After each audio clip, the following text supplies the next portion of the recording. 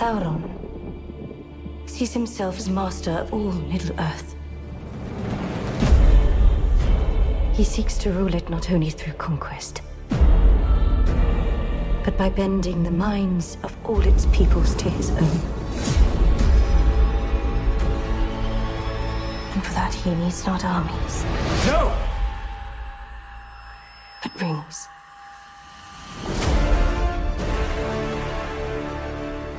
Choosing to wear those rings, you have all become his collaborators.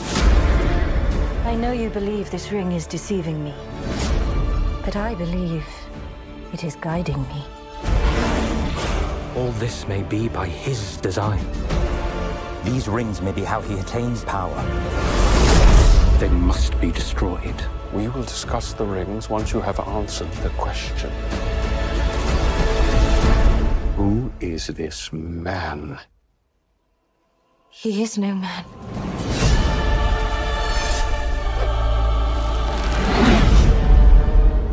He deceived me. He is Sauron. What am I to call you? a sharer of gifts. Our work begins now. I have walked across mountains and deserts to help my friend find his destiny. One the fate of the world may depend on. Is it my task to stop the fire? Is it my task to face Sauron? To try and cheat death might lead to an even greater catastrophe.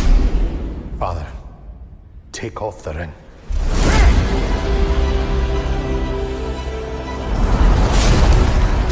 I'm afraid, Durin.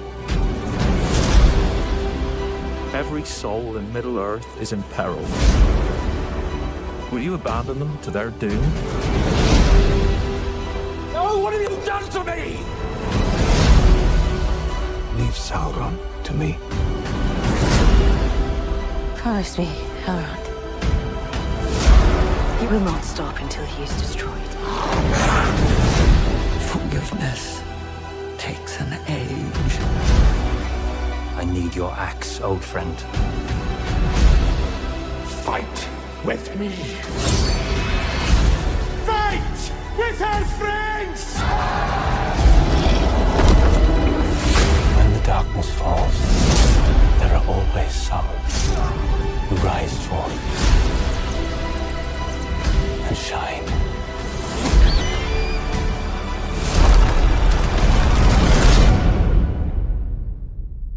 will give me the nine.